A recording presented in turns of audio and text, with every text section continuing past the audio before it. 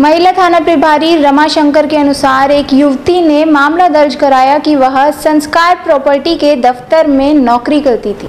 एक दिन दफ्तर के मालिक नरेश रस्तोगी ने नशीली दवाएँ खिलाकर उसे अचेत कर दिया और दुष्कर्म कर वीडियो बना लिया।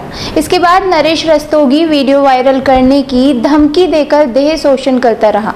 पुलिस टीम ने आरोपी नरेश रस्तोगी निवासी धारूहेड़ा को गिरफ़्तार किया है।